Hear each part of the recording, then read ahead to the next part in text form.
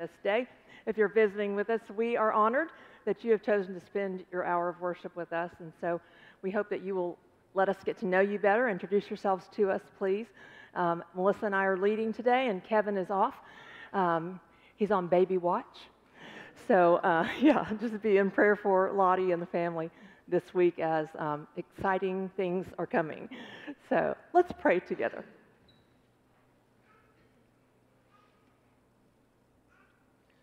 Holy God of Easter, our resurrected Lord, we come once again, God, as your people to worship you and to lift our voices of praise, to open our hearts to your spirit, that we might hear your voice and understand your love and grace and mercy for each of us. In this hour, God, would you speak to us? Would you move among us? Be your glorious resurrected self to us, that we might know you better. It is in your holy name that all God's children say, Amen.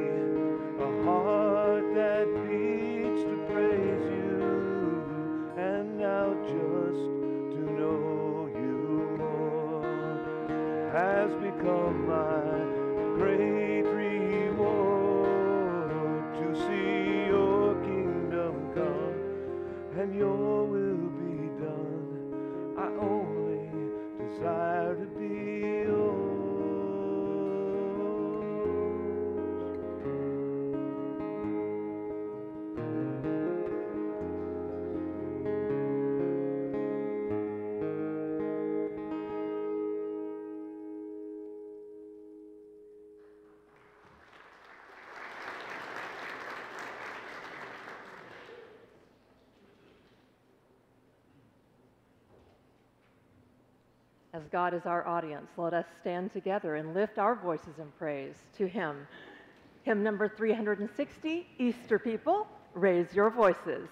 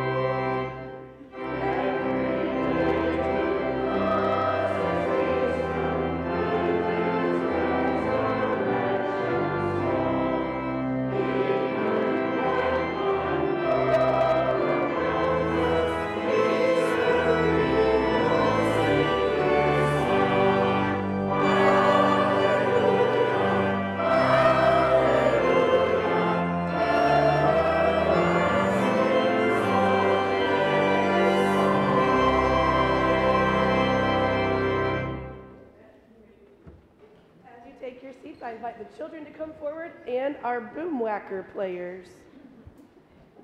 You guys don't know what a treat you're in for. We are going to make a very big circle today. So can we make a very big circle? Yep. Everyone make a very big circle. Would you like one, Jamie? If you would like a boom whacker and you do not already have a boom whacker, you are welcome to grab one boom whacker until we make sure everybody's got one. All right, would you like one of these ones? Do you want one of these ones?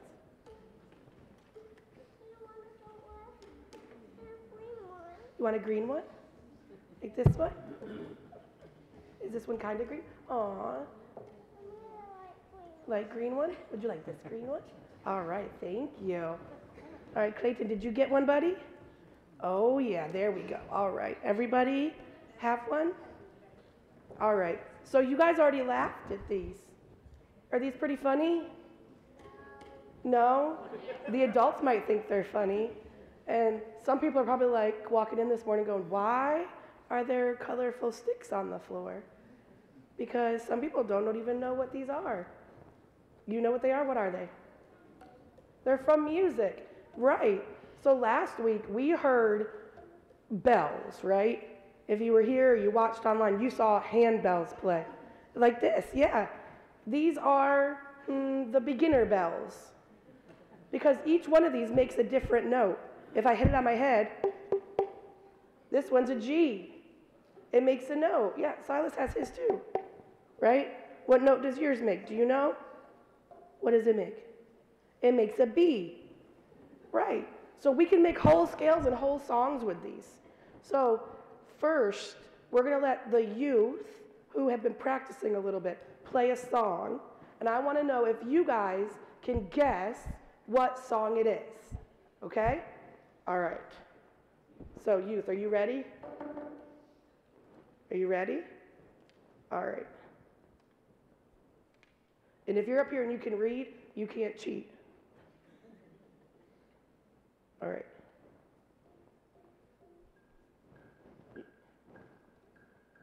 You ready?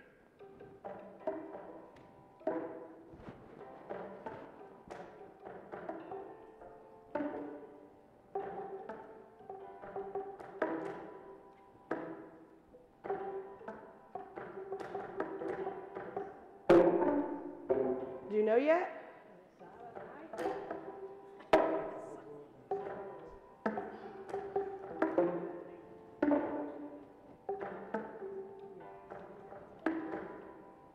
Some people are getting it. You could sing if you get it.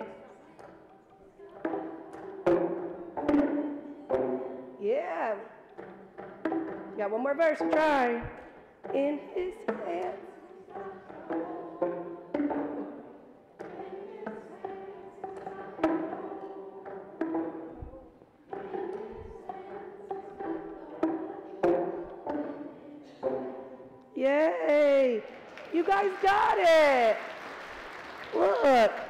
Big kids did it too. That's awesome. So today, because these are kind of silly, aren't they? People walk in and they're like, oh, ha, ha, ha, ha, ha. what are we doing? Those crazy kids. It's Holy Humor Sunday. You ever heard of Holy Humor Sunday? No, we're going to talk about it more when we get to the sermon. But Holy Humor Sunday is a day when we celebrate joy, right? Because I don't know about you, but when you guys come up here or I see you guys, a lot of times you're smiling or you're funny or you have funny things to say and you just embody joy, right? And joy is something that sometimes life is hard and it's hard to remember to be joyful. And you guys remind us that, you know what? We can have fun in all of it. And today, that's what our boom whackers are, is we're gonna have fun and make a joyful noise. Okay? You guys ever heard that? A joyful noise? Sometimes we get so worried about trying to be perfect in everything we do, we forget to just do something. And so when we come to church, lifting our voices, it's not about how good our voice is, because like today, I don't even have one, right? But it's about us doing it to worship. So that's why everyone who's got a tube now, if you need to back up a little bit so you can see for the next song, you can. Um, so if we need to make our circle a little bit bigger so everyone can kind of see, even if you've not practiced with us before, you get to play with us. Because sometimes we just need to do it, right? Just have some joy and do it. So, this one, I'm going to tell you guys the words, okay? So, this one is I've got peace like a river, is the first verse. And I've got love like an ocean, is the second verse. And joy like a fountain is the third verse. Okay, so I invite you to sing along with us as we make a joyful noise together playing some boom whackers. And if you know the motions, you're welcome to do the motions too. I'll be up here doing some motions too. Okay, are you ready? Is everybody ready? Okay, do I have the right one? That'd be helpful, wouldn't it? Okay, everyone ready? Okay.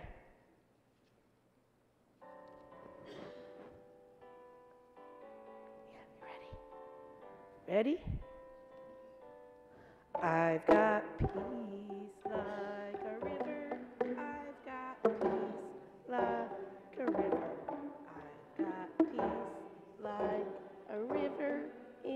My soul.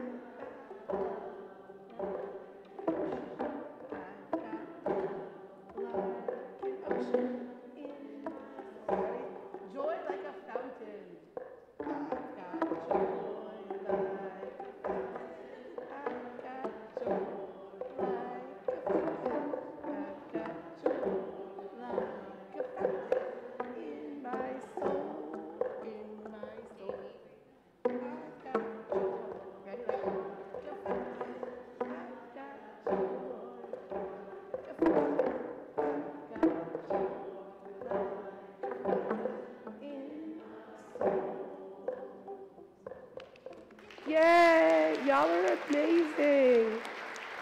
Y'all are awesome. All right, so this week, I want you guys to remember those words in that song, right?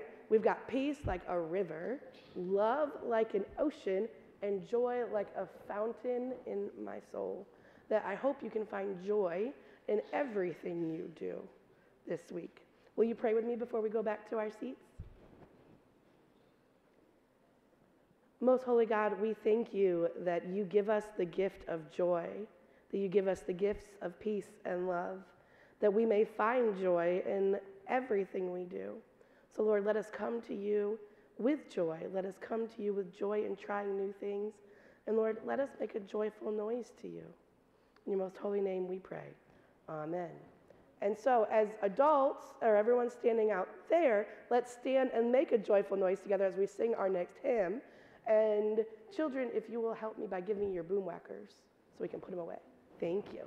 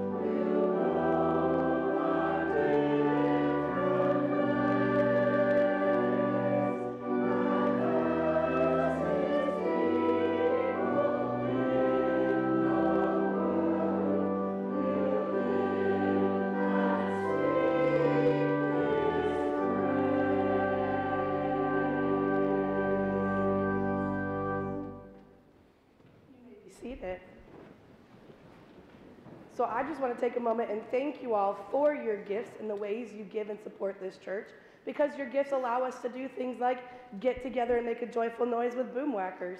And that can be a really fun thing to do. We've had a lot of fun picking out songs or trying different pieces um, as we decided what we wanted to do this morning. And it's your gifts that make that possible. It's your gifts that make things like coming into worship possible, having heat in here, having flowers when we have flowers. It's your gifts that do all sorts of things. So thank you for that. Uh, as we come to the end of worship today, the generosity box this month is for our partnership with Renovation Alliance, specifically uh, helping sponsor some of the projects Impact Virginia will be doing when they're here in this area in July. Campers from all over the state will be working on local homes and helping local homeowners. So all your offerings to the generosity box at the end of worship throughout this month will help support that partnership. Will you pray with me?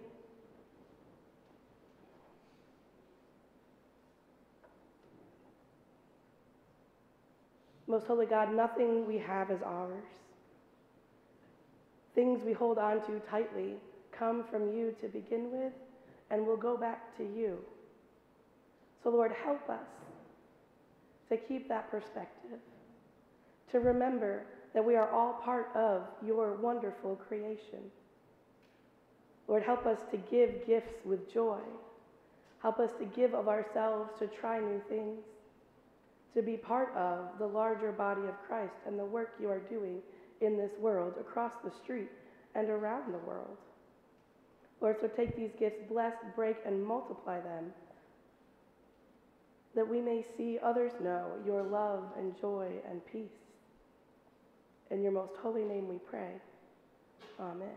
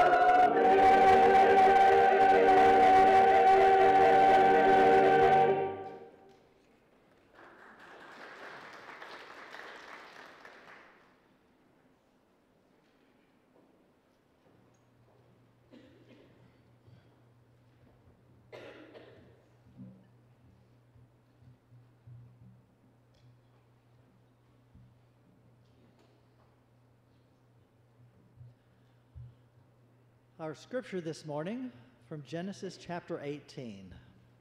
This is from uh, the message, uh, which is not a translation but a um, paraphrase. It's early for me. I'm not used to the morning.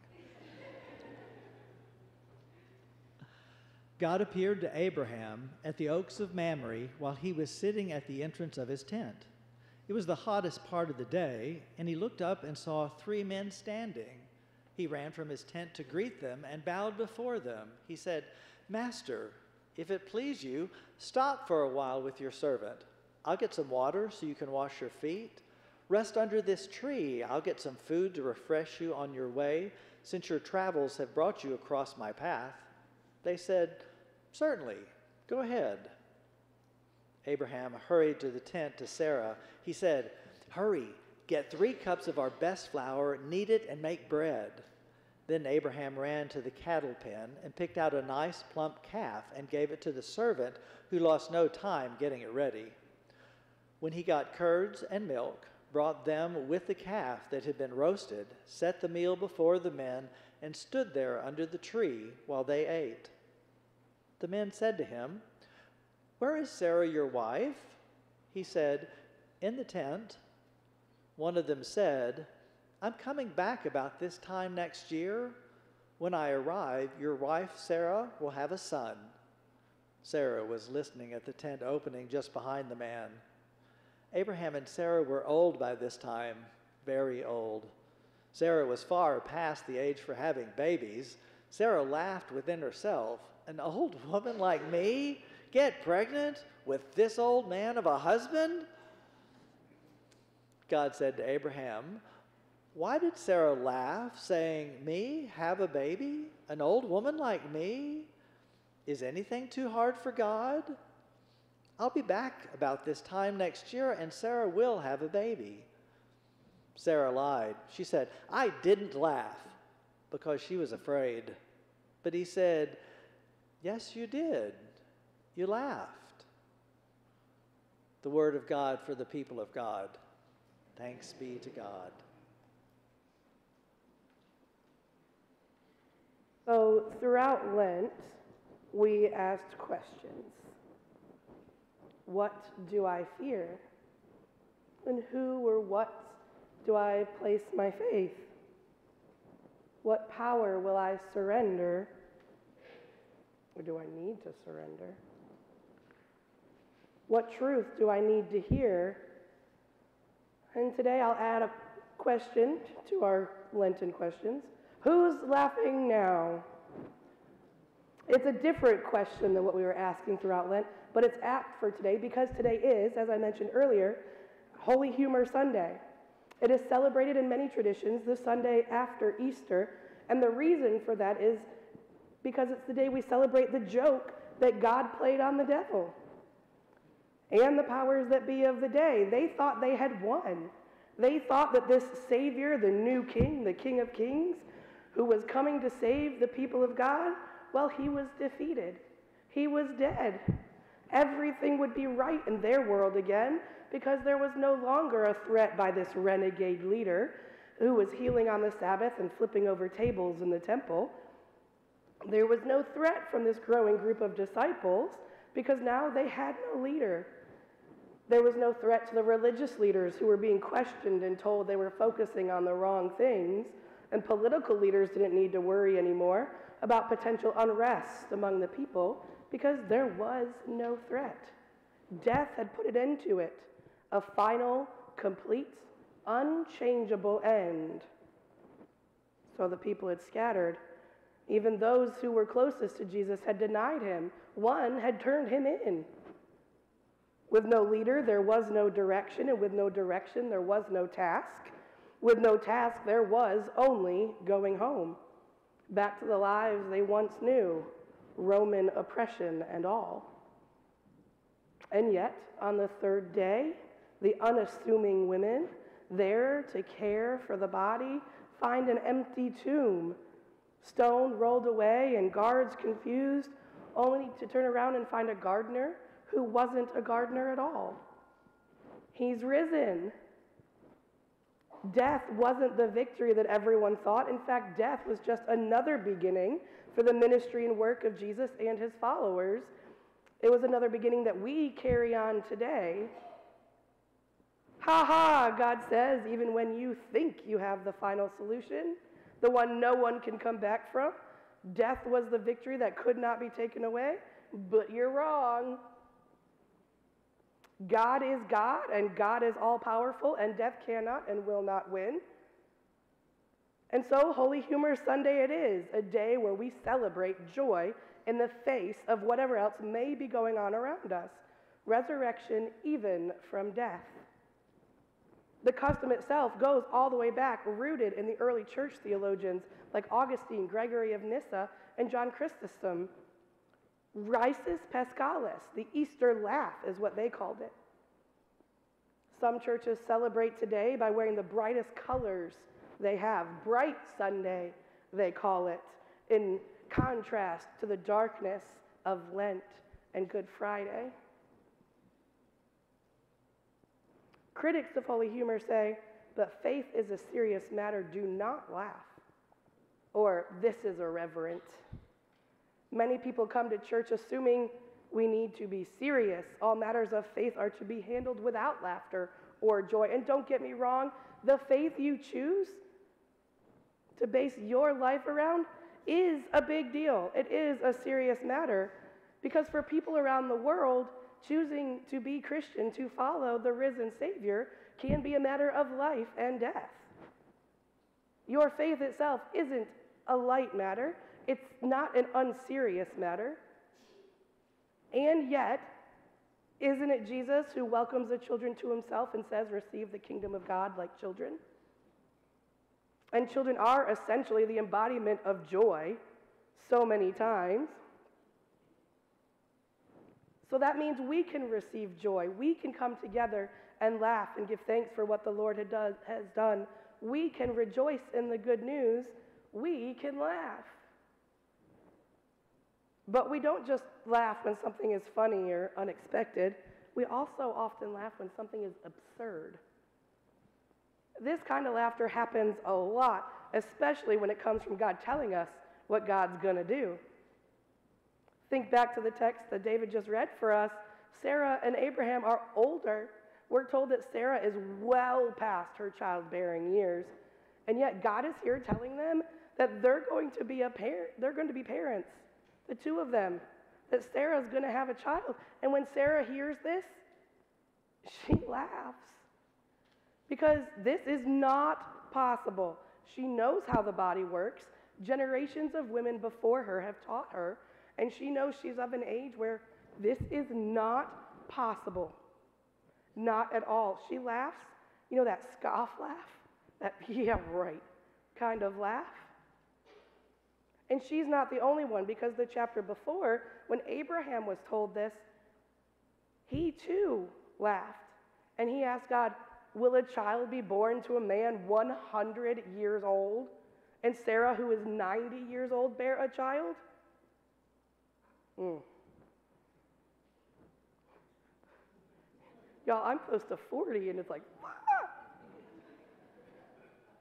See, in chapter 15, Abram had been told he would be the father of countless people, more than the stars in the sky. And eager for that to happen, even after Sarah had not born a child, Abram went with Sarah's maid Hagar. So when God comes in chapters 17 and 18, Abram is like, but wait, I've got a son, Ishmael, with Hagar. Now you're saying 13, 14 years after that, that Sarah's going to have a child? And so they both laugh, both of them because it's absurd. Sarah will not have a son until she does. And they name him Isaac, which means he laughs. Laughter. God can do the impossible. And then what's happening? Using my sanctified imagination, I can see God sitting back and saying to those around, can you believe they doubted? Can you believe they didn't believe I was going to do what I said I was going to do? So we come to the gospel text for this Sunday after Easter, and the story is Thomas. Now, many of you go, Doubting Thomas, we know that story. But we often overlook the fact that Thomas isn't the first to doubt, he just gets to take the heat for it. And his whole name gets revolved around his doubting. See, after the women find an empty tomb, they come across Simon Peter and the other disciple whom Jesus loved, not named in John's version. But they don't believe the women, or maybe they just don't understand what they're saying because they have to run to the tomb themselves and see that it's empty. But when they do that, they just go home. They don't even stick around to see what's happening. Mary is the one who sticks around and encounters the angels. Mary is the one who sticks around and sees the gardener just standing there. Mary is the one who goes to the disciples and tells them the good news, but they need to see Jesus too. They don't even believe. And so Jesus then comes and appears to them in the upper room where they're hiding out because they're scared. And it's there that he shows them his hands and his side, proving to them that it is him and he is risen. Thomas is the only one that isn't in the room. And so when he is approached by them, he asks for nothing less than they already received to also see Jesus' hands and side, to see his wounds, to know that it is really him that's risen. Because certainly, certainly he was like, no, y'all didn't see Jesus. Proof or it didn't happen. I mean, they had heard Jesus say he was going to go from them and come back. They'd heard Jesus say the temple would be torn down and rebuilt in three days because, of course, a temple can be torn down and rebuilt in three days. It's totally possible. And the women, Mary was basically probably hysterical when she came across Simon Peter. So, of course, she doesn't know what's going on. Ha, there's no way that tomb is empty. But when they find it empty, let's just go home because this is all absurd. Can't even understand. Even when Mary comes back, I'm sure some people laughed at her. No, no, no. You didn't see him. We watched him die. Remember? And granted, when we talk about laughing in the Bible, people always go and talk about Sarah's laughter, right? If you look up laughter in the Bible, it will always come up Sarah laughed. But you know other people had to have laughed too. Noah. God, you want me to do what now? You want me to build a boat in the middle of the desert? Jonah, you want me to go and do what now? Where? Do you know who those people are? And you want me to give them a chance to repent? Moses turned to God and said, The people won't even listen to me. How's Pharaoh going to? When Saul was called to be king by Samuel, he hid among the baggage because what was being said was so absurd. I'm not doing that. When Jeremiah was called to by God to bring a message to Israel, he said he couldn't do it because he was too young. Mary, when approached by angels, said, How can this be? When the angel came and told her she was going to have the Son of God, and Joseph, well, he was like, Time to split up, I'm out. Not sure at all how any of this was going to work out. There are many people throughout the Bible who scoff laugh at Jesus, at God. no. That's not going to happen. There are many people today who laugh. I wonder how many times we feel a pneuma nudge, as we call it, the Spirit nudging us to do something, and we laugh, I can't do that. That's impossible. From big things to little things. I can't volunteer. Do you know how busy I am? I should reach out to that person on the prayer list, but do you see the schedule? I have too much to do today. I'll do it tomorrow. Then tomorrow comes, and tomorrow comes, and tomorrow comes. God is surely not asking me to be involved in the nursery. I'm too old for that. Mm-hmm, yep. God is definitely not calling me to be a deacon, not even if I feel a nudge, not even if that nudge is the chair of deacons or the pastor. Not a nudge. God definitely doesn't want me to be a Sunday school teacher. Do you know what I know? Not enough. God doesn't want me to say yes to come into this Bible study and say no to hanging out with my friends. God doesn't want me to say yes to going into ministry. God doesn't want me to think about moving somewhere new and establishing a community there. No. God surely won't use me because I'm not as strong as I once was. God surely isn't calling me to do anything because I don't have the money that they have, they can give. God doesn't want me to do that because I'm not smart enough. I don't even know how to do that. Surely that one's not for me. We laugh and scoff all the time because we think we know better than God. Could you see me doing that? No. We think we know that these things couldn't happen. Doesn't matter if there's a little nudge in our gut or our heart or our mind, wherever you feel yours. We're going to say no because there are plenty of completely logical reasons, like Sarah had, that things can't work out. She had completely, completely logical, scientific reasons to laugh. She was past her childbearing years. There was no way she was going to have a child. The disciples knew Jesus had died and that there is no coming back from that. Mary knew she hadn't been with, Jesus, with Joseph, and Joseph knew that society wasn't going to have all of this in their mess of a relationship, and that splitting up was the better option. And yet I think about all the time the kids who go on trips and end up on roofs I think about people who have never picked up a tool in their life, learning how to put up cabinets after a house has been cleaned out due to flooding. I rebuilt a subfloor on a house, took out joists and put them back. Me. I think about people who learn to cook so there'll be food for the hungry. I think about people who start backyard gardens and they grow and grow. I think about nonprofits who start in someone's living room. I think about faithful people who show up week after week to teach Sunday school, even if and when they feel inadequate. I think about people who ran from their callings for decades, now serving as pastors and chaplains in unexpected places. I think about the ways we run and run and run, laughing at God, saying, Nope, you're funny. I mean, I was first called to ministry as a child, and then again in high school. And yet I went to college and then worked in another field, in another country, before I finally was like, when God called again, and said, okay, okay, now I'll go to seminary. Is anything impossible for God?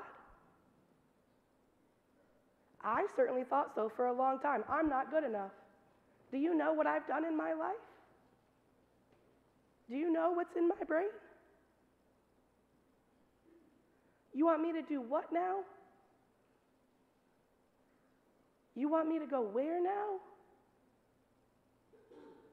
Why do we put limits on God's power?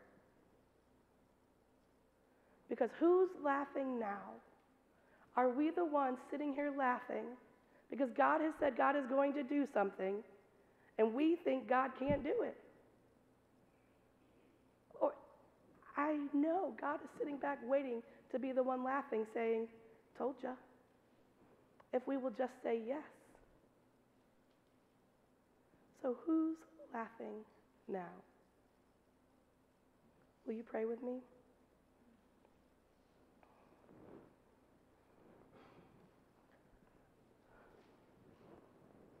Most holy God, why do we put limits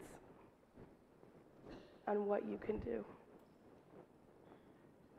We know it's because we're human and we're scared or nervous.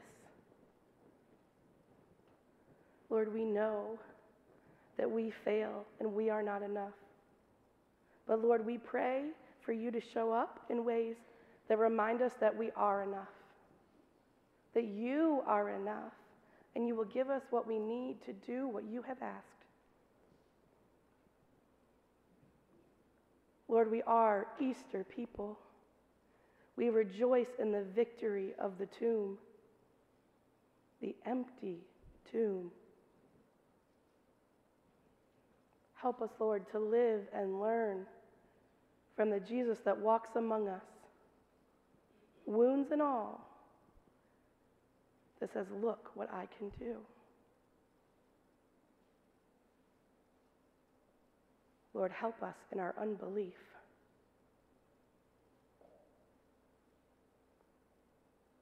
Lord, help us as we come to your table where we remember you, remember what was done for us, and as we remember the getting up and walking out. In your most holy name we pray. Amen.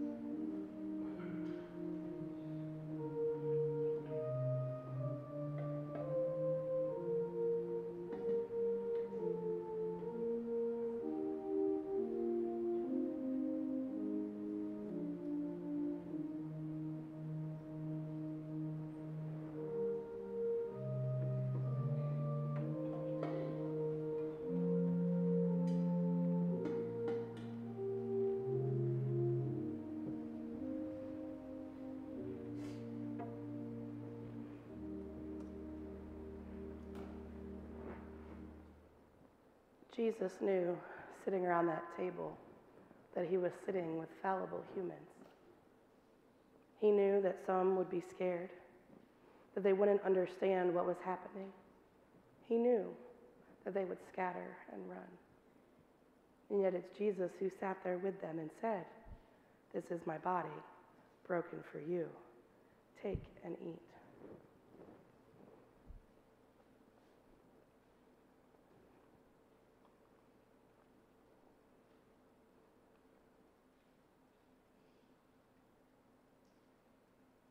Jesus knew when he showed up in that upper room with them that they would think, we can't do this. That they would need some proof. That they would need some gumption. Jesus knew what was going to come. Jesus knew that they could do it. Jesus knew that for centuries after, we would be saying, we do this in remembrance of him. So this morning, in all of our own unbelief, in all of our own wondering what's going to happen, we take and drink in remembrance of what Jesus has already done.